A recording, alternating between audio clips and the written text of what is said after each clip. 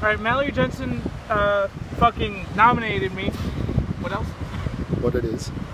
Uh, this is a fucking cold water challenge. It is fucking cold. It's got to be at least 34 fucking degrees. And who you nominated?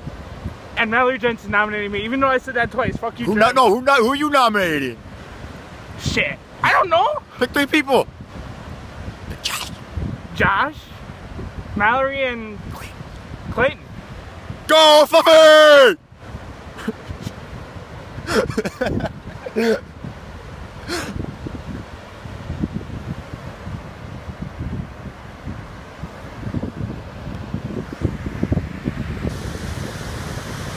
oh,